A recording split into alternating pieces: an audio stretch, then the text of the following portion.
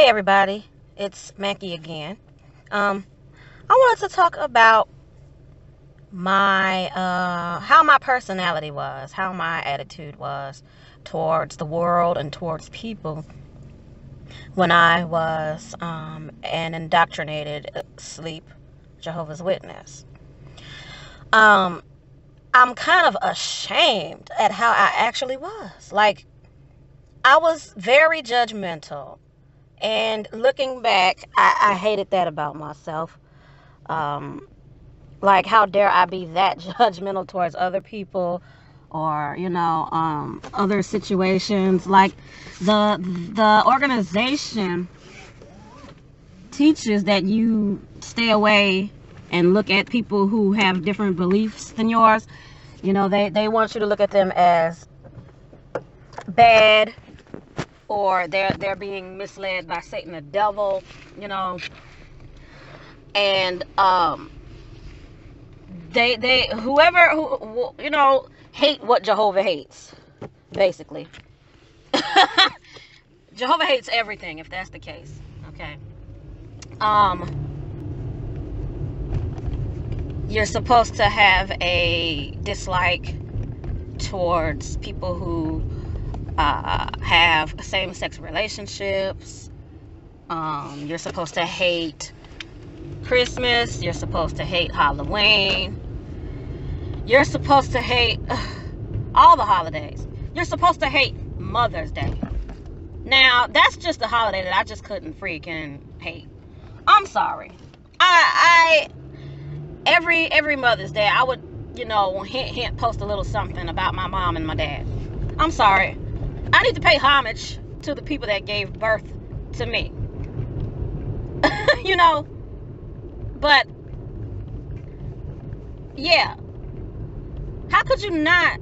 Why why what why can't we celebrate Mother's Day, Father's Day? They're the ones that put food on your table. You know, your mother or your father or whoever your legal guardian is, the one that that raised you, your grandparents, you know. They're the ones put a roof over your head.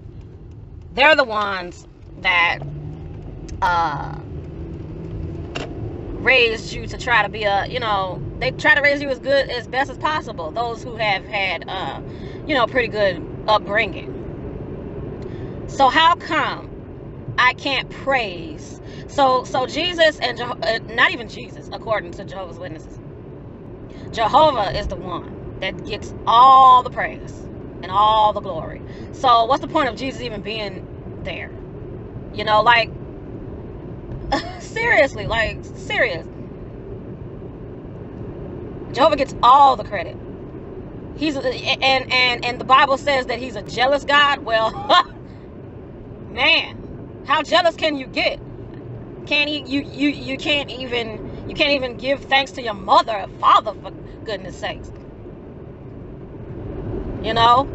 How could I possibly hate that? Now there are holidays that I do have a little bit of an opinion about. Um, such as Thanksgiving, Fourth of July, uh, Christmas, and things like that. Um, but and then let, let let's talk about let's talk about in the Bible where it says men who lie with men will not inherit God's kingdom. Okay. Um seriously. If if God is the one that created the desire in certain people to like the opposite sex, why would he go then and go and destroy that same person? Like, it, it doesn't make sense. And deep down inside, even though I was told not to like gay people, I actually really, really do. They are so cool. You know, they're so they're they're the most they're the least judgmental people that I've ever met. You know? I knew a couple of uh, gay guys in high school, and they are they were some of the sweetest, kindest people. You know, but the organization tells you to uh, hate, you know, homosexuality. My thing is, all the things that's going on in the world today, you got all of these earthquakes, all of these people in Puerto Rico that have no power. You know, you got you had the hurricane in in Houston. You had all of these shootings and killings going on. You know, and in in Vegas, you have all of these injustices that uh, are going on. You have all of this racism going on in the world today. But the organization is worried about who somebody's sleeping with at night. Like, where is the where is the organization's like priorities where all they can do is pray for the people that that have suffered all of this injustice and all of the, these natural disasters, you know, that's going on in the world. But they so interested in who you're sleeping with. Or whether or not you're touching yourself. or not. I think it's more of a disgrace that the organization is is not even helping out with any of these disaster reliefs like they claim they are, but they're really not. They have so many class action lawsuits against them that your your your worldwide work that your don your little donation that you think is going to the worldwide work is not going to the worldwide work. It's going to those 66 million dollar class action lawsuit that they got spanked on them. You know? That's why they're shutting down most of their print prints. That's why they're, you know, shutting down on a lot of things. As was mentioned uh, at the annual meeting, I will post a link to a couple of videos that actually had some pretty good reviews. Um, John Cedars, aka uh, Lloyd Evans, had a good review. Kim Mikey had a good review. Uh, What's Up Watchtower had a good review. So I'm gonna post those uh, on, and so you guys will know what I'm talking about when it comes to that. And also, uh, I will post a video from um, Alexander James explaining into further detail about the $66 million uh, class action lawsuit uh, that victims are suing Watchtower for uh, sexual abuse cases that they're not taking care of properly. Um, but yeah. So anyway, like I said, um, going back to being judgmental, I was taught to be like that. I was taught to be judgmental. I was taught to not speak to disfellowshipped ones. And I felt so bad, but I, I felt like, okay, well, I have to do this. Otherwise, Jehovah will destroy me. That's that's the underlying cause for everything that Jehovah's Witnesses do. They're scared to die at Armageddon. That's that's why they do everything. They go out of service because they're scared to die at Armageddon. You know, they they shun um, disfellowshipped or faded ones, disassociated ones, because they don't want to die at Armageddon. They avoid holidays because they don't want to die at Armageddon. They avoid dating people outside of the organization because they're afraid Jehovah is going to kill them in Armageddon. It's just it's it that's the underlying reason why Jehovah's Witnesses do what they do because they don't want to die at Armageddon.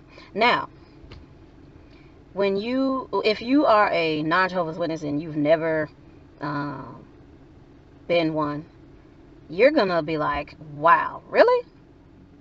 So they're just spending their their entire life just being scared all the time. Yes, that's exactly it. They spend their entire life always scared of everything. They're always scary of everything. And I remember one day, uh, I was a really small child, and I, and this is the sad. I, I, I felt sad. I felt bad because um, an elder's daughter got disfellowshipped, and then he stepped down. Uh, usually when an elder's child or any any member of the family that the elder is responsible for um, if they do any kind of wrongdoing, and if they get disfellowshipped or reproved or something like that, uh, chances are the elder has to step down. You know, it's it's it's a it's a uh, image thing, you know, to the congregation because members of the congregation are judgmental towards each other too. It's not just uh, passing judgment on worldly people. They pass even an even more sickening amount of uh, judgment towards their own people because they figure, you know, they put everybody on a pedestal. Everybody's supposed to be perfect. And, and if you do one wrong or one bad thing, such as maybe have sex before you get married, you're look you're looked at as some sickening individual, you know. So one day when I saw the elder's daughter who was disfellowship, me and my mother were at the store. Um, I think we were at Walmart or something. Or at the grocery store. I can't remember. It was so long ago. I had to been about nine or ten years old at the time. Um, and I saw her and I got excited, you know, because I hadn't seen her in a while. And I said, hi. And then my mother, she kind of like shook me a little bit. And I'm like, oh. And I said, oh, really loudly. And that kind of made her frown, the, the disfellowship's uh, young girl. She had to have been about, she was probably 19, 20 years old at the time. And um, that kind of made me feel bad. Like, man, I can't say hi to her. You know? I mean, this organization ain't got the sense that nature gave a child. You know, children are the most uh, non judgmental uh, people, you know, when they're young because nothing, nothing has been taught to them, nothing hateful, you know, has been uh, ingrained in their brains yet. So that that's when I was like, man, I don't want to be disfellowshipped. And for a long time, I didn't want to get baptized because I didn't want to be like her. But um, eventually, I was convinced to get baptized by my mother and by the elders to get baptized. And that's when, you know, and it was during high school. So, of course, did I go to prom? No. Did I go to certain homecoming dances? No, I didn't. You know, my mother wouldn't let me go. I was just like, ugh, you know. Anyway, fast forward to today.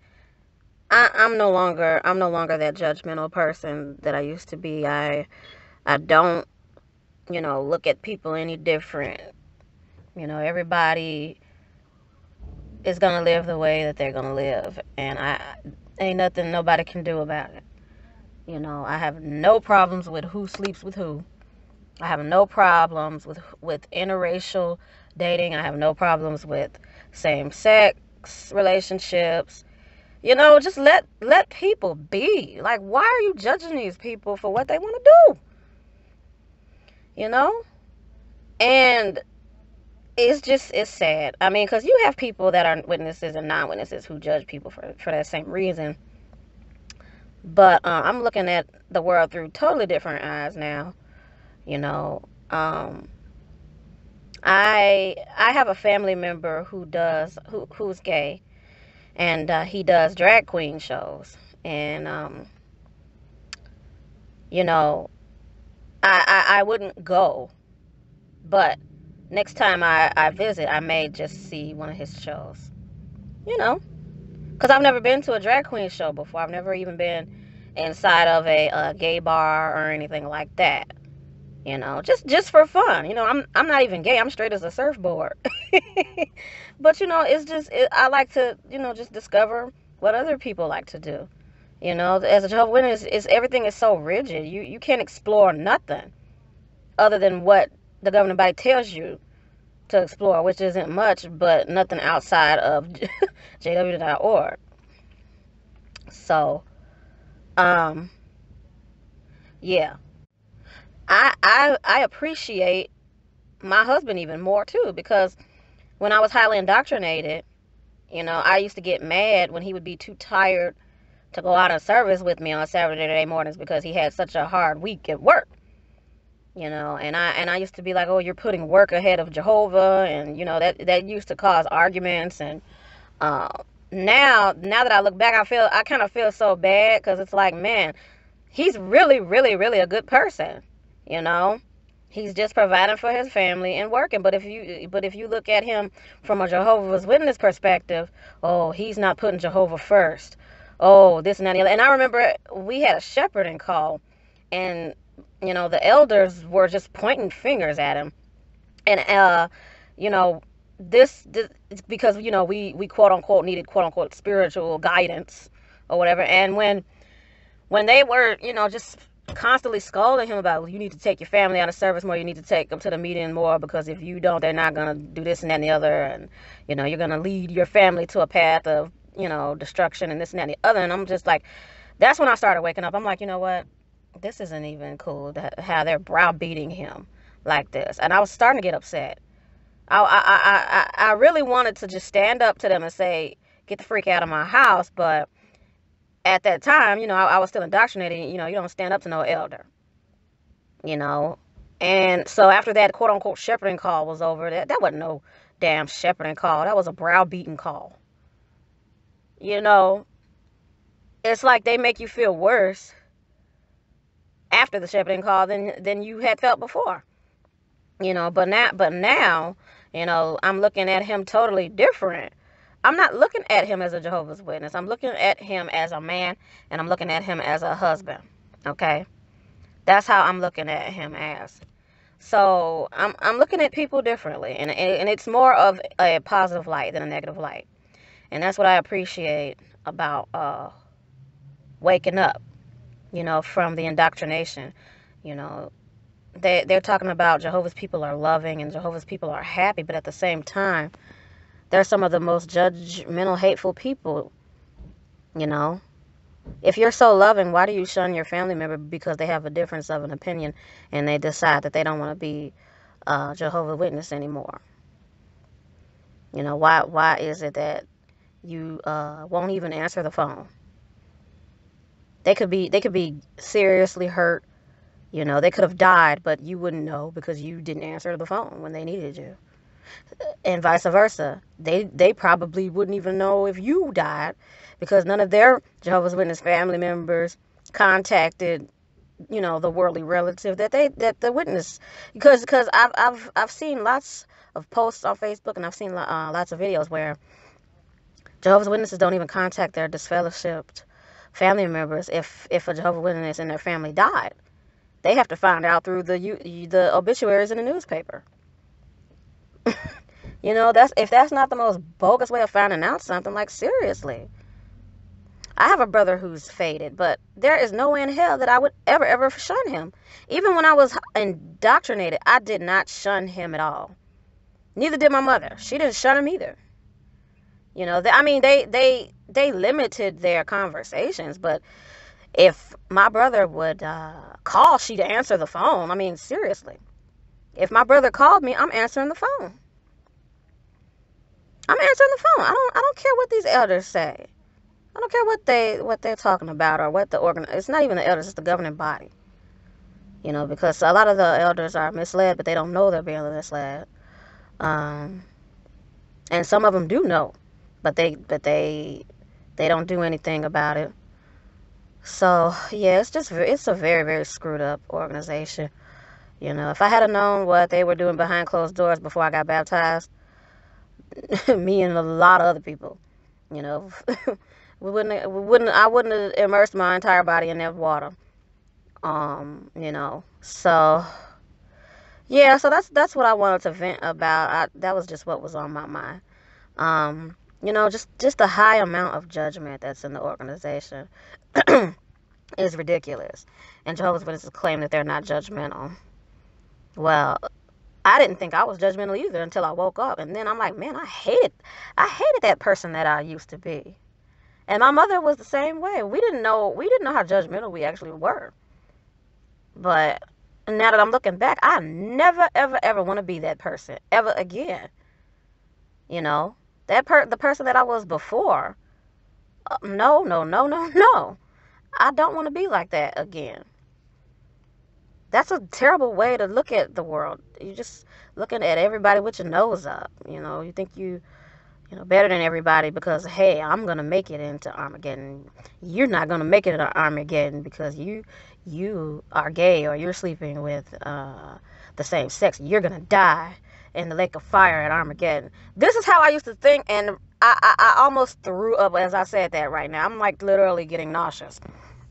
I'm literally getting nauseous because that's how I used to think. Every Jehovah's Witness that's asleep and indoctrinated thinks that they're better than everybody else. They may not admit it, but they know they are. They're like, hmm, everybody's going to die. I'm going to make it. Yes. Mm-hmm. That's how they think. And it's just, it's terrible. It's terrible. But like I said, I'm glad I don't think that way anymore. Um, I'm free of that judgmental thinking. So, uh, I hope you enjoyed this rant that I uh, needed to talk about. This is Mackie J. Jones. And like I always give people at the end of my um, uh, videos, always question everything, always dig deeper, and always do research. You know, don't limit yourself to what you've been taught your entire life. Please explore. There's more to the world than just, you know, what you've been taught your whole life. Question everything. And don't be afraid to ask questions. All right, this is Mackie J. Jones, and you guys have a wonderful uh, day.